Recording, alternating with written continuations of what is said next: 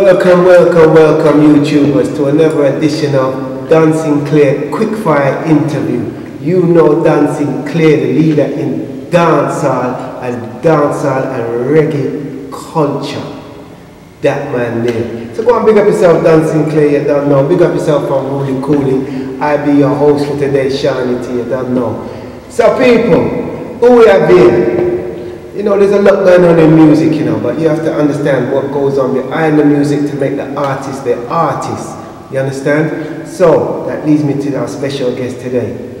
People, let me introduce to you Japolion, aka Philip Polian. Yes, my brother. If Feel good? Thank you for having me. Oh, good day. Nice to meet you all.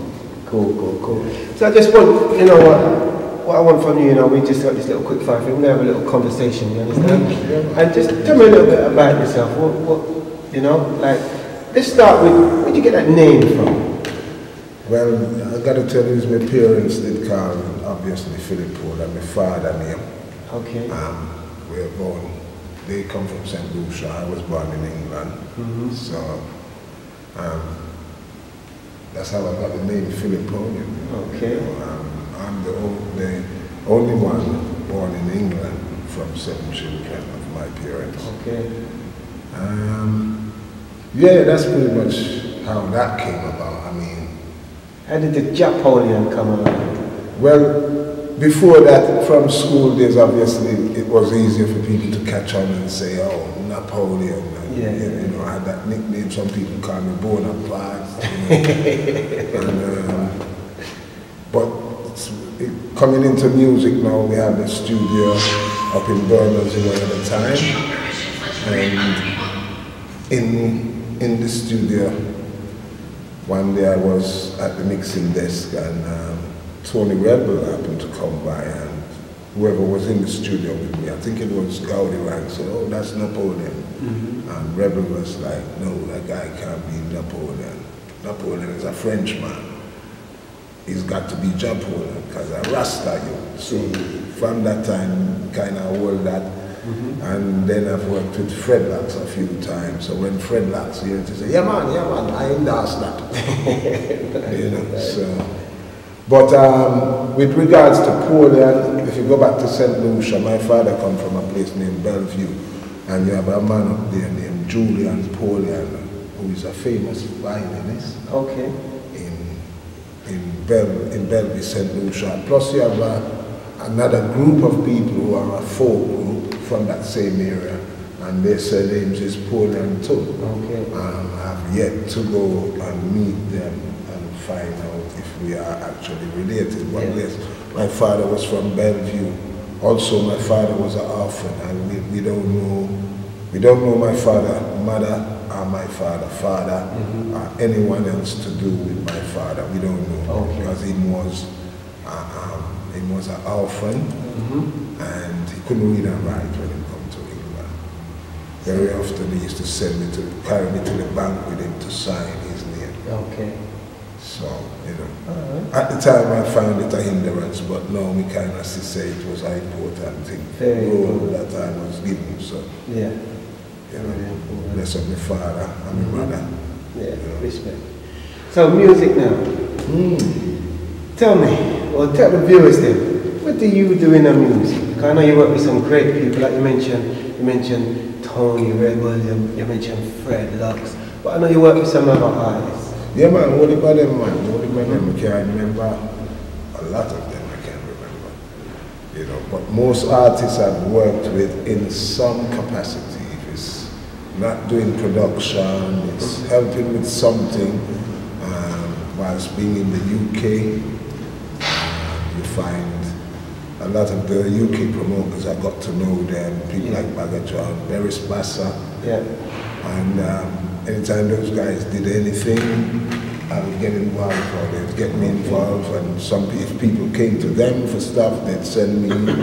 and in that, I'd end up working. Even Buju I've worked with, Wow. doing, you know, I mean, that was with a, a, a woman named Emma Sirius. Yeah. And like, she was the original person who did the Giants, the Giants of Lovers Rock. Oh, yeah. But she was the original one doing it. Yeah. And um, through Bagajan one day I'm working on a show, Bantam, for this lady. And she just suddenly looked at me and said, there's a dress, go and get Buju. I like, what? You must go get Buju. All right. Even though I'd played and I'd worked with, you name it, Liquor Yeah. John, all by them, mm-hmm. Tristan, Oh, George, you know, Stevie Face, the first time Stevie Face I played Brixton Academy, you know, he was backing me. okay. But back in, in what way was back in the? I'm a bass player, first and foremost I'm a bass player. Okay. And through the knowledge of that, you know, you get to learn what, what goes on, you know, in pushing your own self, because from the time I came, I took up a guitar, it was on, you know, I always discovered that you kind of have to um, write the story yourself. You have to kind of bring it to the people yourself. Sure, sure. I don't believe in a thing where people get discovered. You know, it does. No one don't discover. You're doing your thing, Mhm. and the more you do it, is the more people gravitate towards it. If it's positive, if positive. you know. Yeah, yeah, So, um, within that, I end up doing a whole heap of stuff, driving tour buses, Yeah. um, hiring equipment, doing people's black line.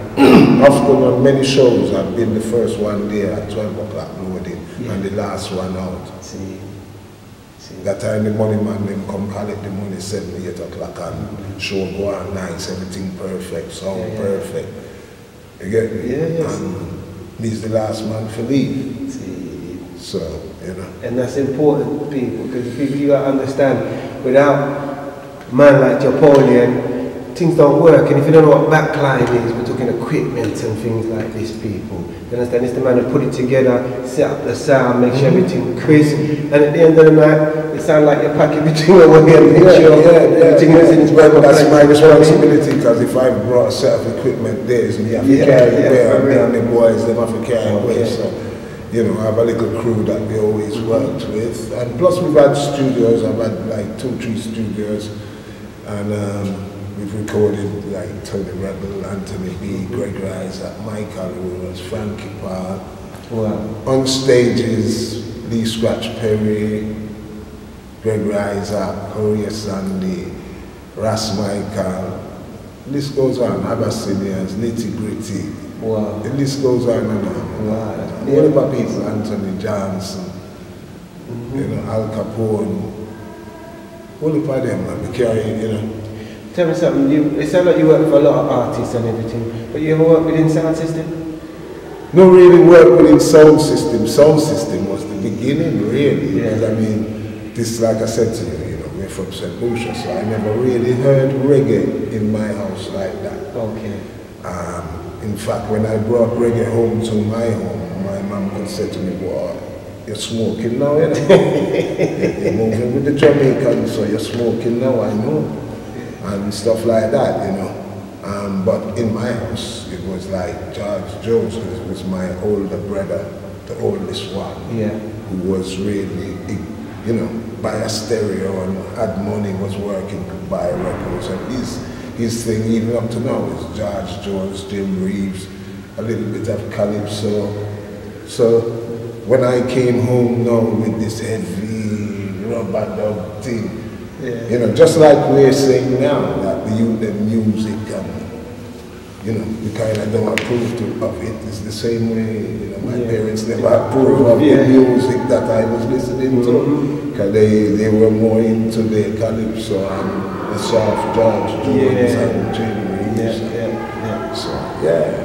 Um, sound system, the first sound system I heard was in the lunch hour at a school named Samuel Pepys in New Cross. Okay. And that was the beginnings probably of a sound named Caesar, Okay. who was one of the first sound that run the place in uh, southeast London. Okay. You know, especially New Cross, Brockley, Mywick Neck of the Woods, the place where Saxon and them people come from. Because the school I went to, uh, even Jah Shaka was there. Yeah. People from Saxon went. Yeah, man, Shaka was in my school, my brothers, then age group. You ever worked with Shaka Saxon? I have, I have worked with, I worked with Shaka, not on a sound system. I Okay. worked backing him in Brixton Town Hall and he came on stage and sang, Get out, get out, get out, Babylon a burn and Brixton Town Hall catch a fire. John, tell me the truth. Yeah. And um, who did you say? Sax? Well, Dennis, I grew up with Dennis family, you know. Yeah. Because the first community centers that I went to Mm-hmm. was West Indian League, which was in Nunhead Lane. Okay. And Dennis' mother worked there, so I got to meet Dennis and his big sister Faye. Wow. So I knew them from that. What, what year was this? Well, Yeah. You want me to tell you? Early 80s. You think no, you know, you think that before that, that we had 70s that. Yeah? Man. Okay. and Was- then, on, when you say 70s, are we talking that before Saxon launch or you just you just you knew Dennis wrong? Or yeah, no, but there was, Saxon Saxon was a sound like the Unis and them sound. Okay. Every song played a little bit of this, a little bit of that, a little bit this. You know, Saturday night ravers thing. And um, I used to keep some house party. Me and my friend named Basha, bless him, in Paso, my classmate. And we used to keep some dance in Brockley with Prophecy and Saxon. Both of them playing together. Now, Prophecy now is Mr. Sharty, who is on rock radio now Okay. and he's running Newman Promotion. So he used to run, him and Alphonse used to run Prophecy. See. And they were just generally, you know, not the killing machine that they turn out to be. They, you know, big people could have gone listen to them and raving on and, you know, you hold a girl and dance and later on, you know, the DJ thing, that dancehall phenomenon became popular because when you're talking about 70s, it was rockers moving. So it wasn't so much DJ clashing Yeah. kind of thing. I remember seeing even the first DJ to come to England and rap on a song was Ranking Joe. See. Can you come with racing body? Yes, man. Yeah, and I was there watching all these things happen. That- no, because that was in Deptford Crypt. That was where them did the embalming in Deptford Yeah. Crypt, Deptford High Street. and that's how we used to go really.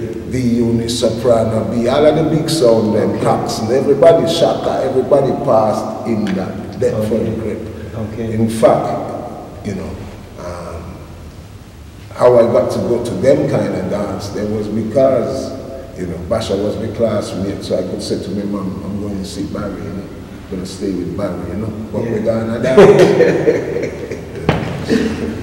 Yes, man. yeah, sound system, but to say what was my favorite song, my favorite song really was Neville King. That was the song I kind of liked how he played. Yeah. And if he was somewhere around, we went.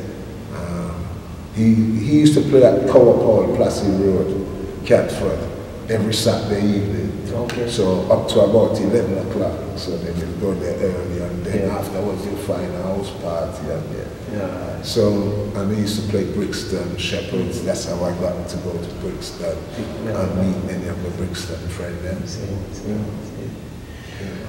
Okay, so we're talking sound system, right? So sound system, we're talking music. Okay. Mm-hmm. So we have a question that we love to ask. Yeah. What is the first song you ever bought? The first tune, you, record you ever buy? Right, that, that one the tough still, you know. I can't remember which one I bought. I can't remember which song the first verse by. But I do know, I think it was an album named The Other Side of Dub, you know, by Lone Ranger on Studio One, because from early age people kind of always recognize me for dabbling around Studio One songs. Okay.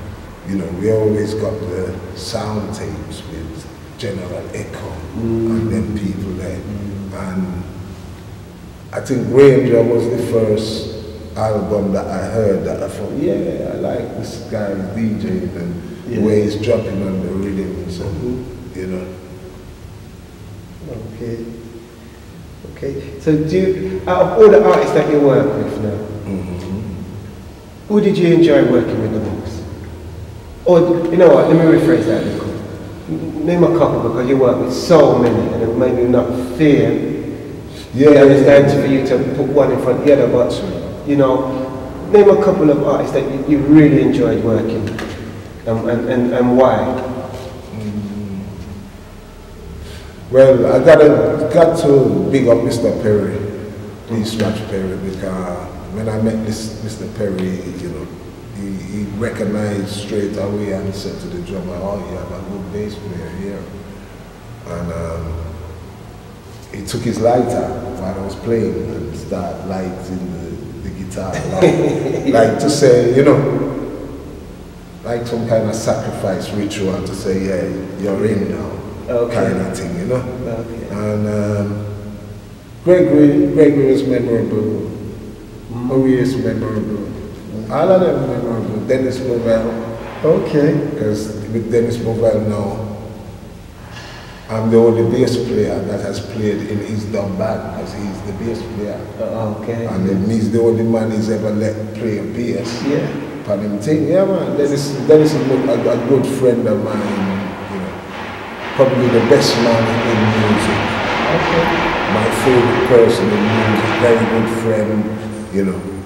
You don't need to talk about money with Dennis. Then from the ask Dennis this, all right, I'm coming. Yeah. You know what I mean? In fact, in, and I've done work in mental health, and he would be the one saying to me, "You're not calling me to come to you. Christmas party, or you're not doing an event for these people. Let me come and do something for them."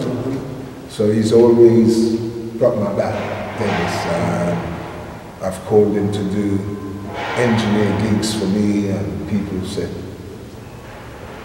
"Are we gonna pay?" I said, That's cool.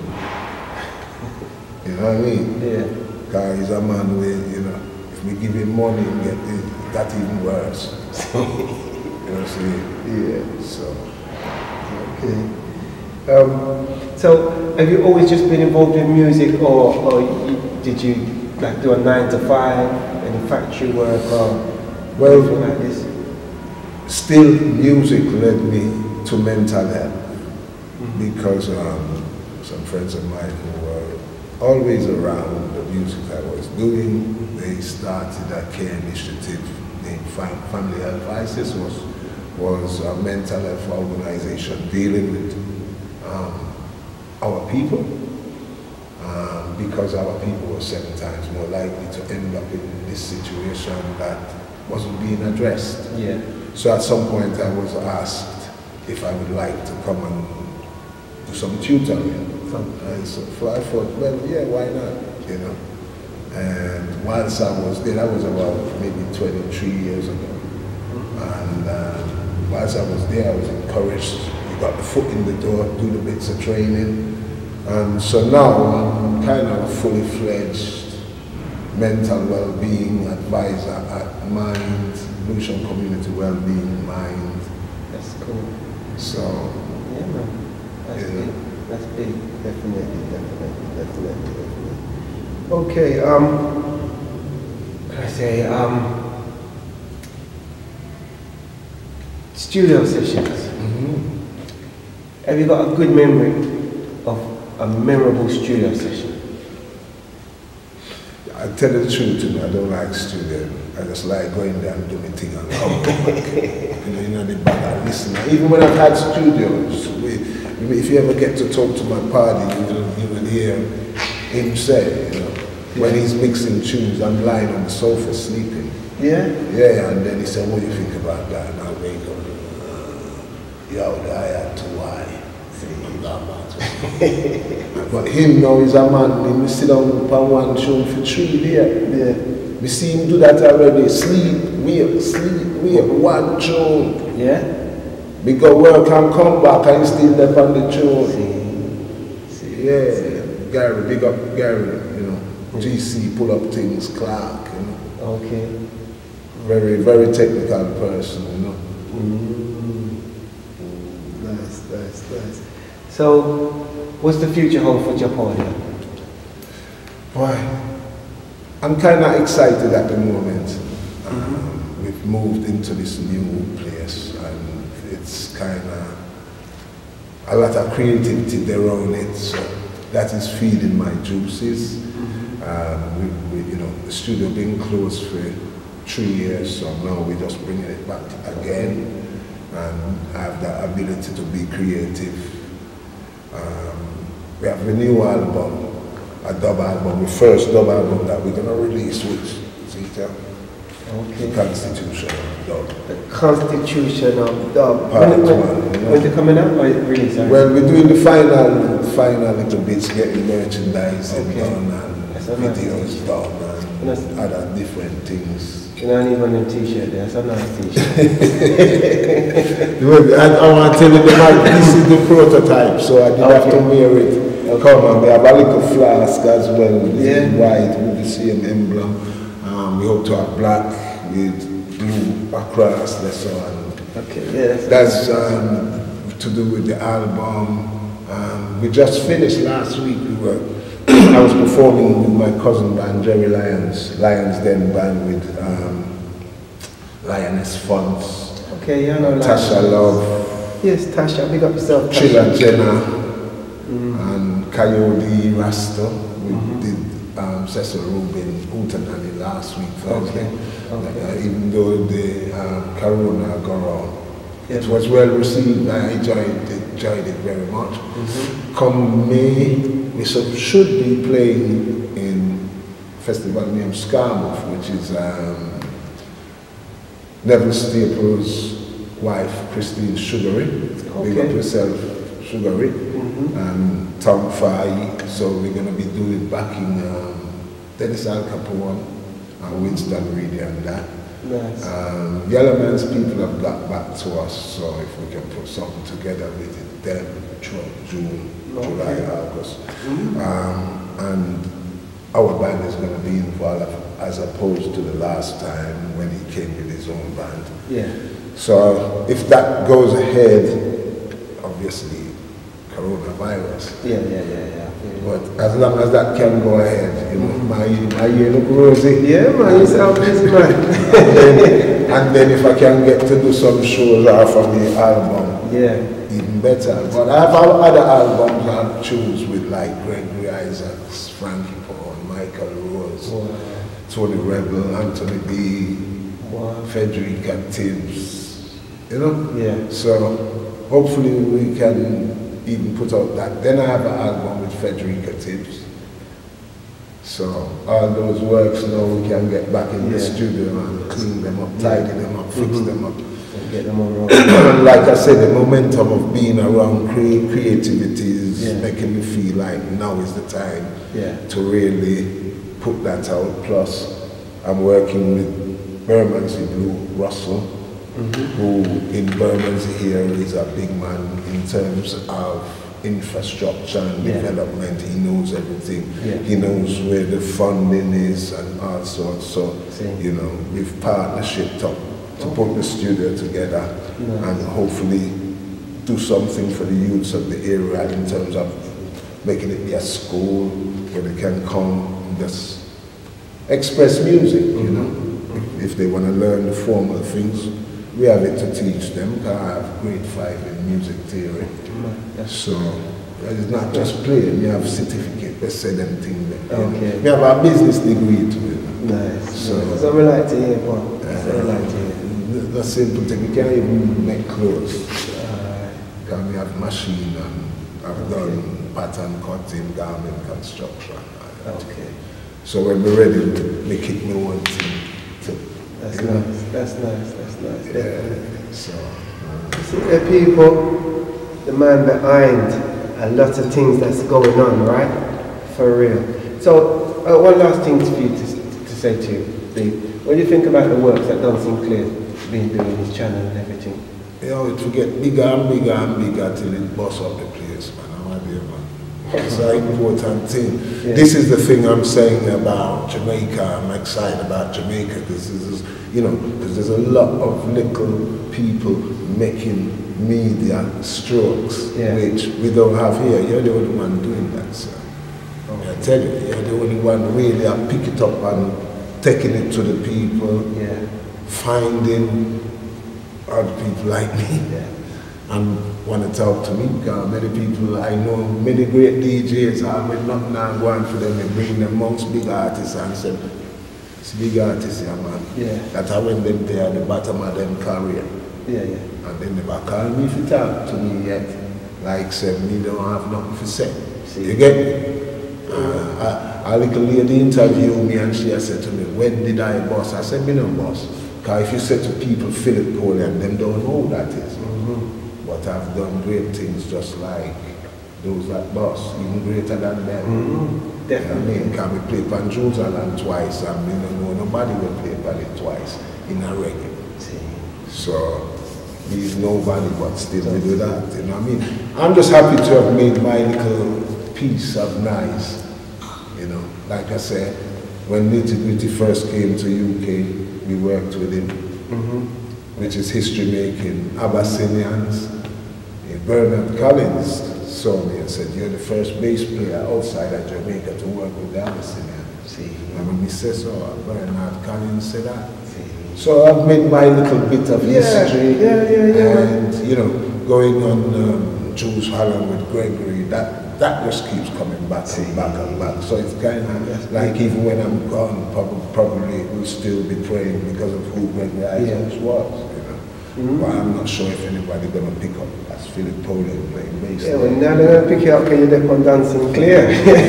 and that's what's so important. yeah, yeah, yeah. And, and, and this is the philosophy of Don Sinclair, you understand? Yeah. There's so much rich history, there's so much that goes on within music, behind the music, on top to the side of the music. And so we need this platform so your story can be told and documented Sure. in history. Sure, sure. Because your legacy must live on because the greatness you do. you understand? Man, that great work, Yeah. man, do, man. The Yeah. great work you do. You know, like I said, you know, um, I don't see nobody else doing it. Okay. You know, maybe I don't even know. Cause it's not that raw part.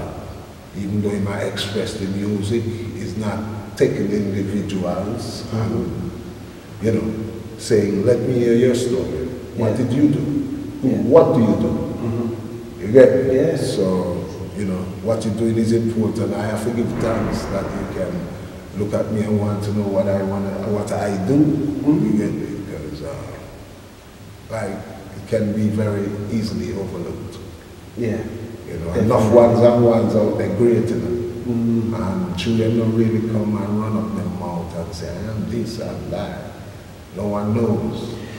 That's why you work for years and years and years and years because it's not about the fame. True, true. Do you understand? Yeah. If it was the fame, the fame would have come and gone. Yeah. But the, the, the foundation that you laid True, has, true. has made you work from decades, I Yeah, say, yeah. right? And we still, me always kind of, I always kind of liken my life like a funnel and said, this is the funnel, with the yasso. Yeah. Anything can happen. One day we tell one of our, our girlfriend at the time, we said to her, we are show her this and I said, I'm in the car and a man phone I say, you want to go to Africa next week? Yeah man, no problem. And we went, we did a gig, went with Glenn Washington, uh, Frankie Paul to Gambia and do a gig. Okay. So that's how my life is, you know. And maybe I'm lucky in that the persons who called for me called for me at that time. So, but that can happen tomorrow and the next day. It's not luck, it's talent. You've done There's a difference. Yes, there's an element of luck at times, but it's talent. True. that, that carries you around the world and keeps you working. If you didn't have some kind of talent, who's really going to really work with you? True, so we have to big up the man called Yeah. Phil, Philip Polian, Yeah. aka Japolion. See? So brother, Yeah, man. enough respect for passing through. Yeah, man. you understand? and being a part of the Don Sinclair Yeah, movement. man, yeah, man. More and more and more. You don't tell him, you know, he was part of my team. you don't tell him already. That's nice, like, that's Nah, I left your inch. Everything we are going in my head, I give me a contact. That's nice. You know, say, So there you have it, people, in a beautiful conversation with one of the foundation members, the man behind the scene, the man that makes things work. We're talking a cornerstone in music, you know. You understand? The man called Philip Polian, aka Japolion. So all you tubers, go and big up yourself, Thanks for tuning in. And this has been another Don Sinclair Quickfire interview. So big up yourself, Don Sinclair. Big up yourself, I'm Rooney Cooley. I've been your host, Charlie T. And we are.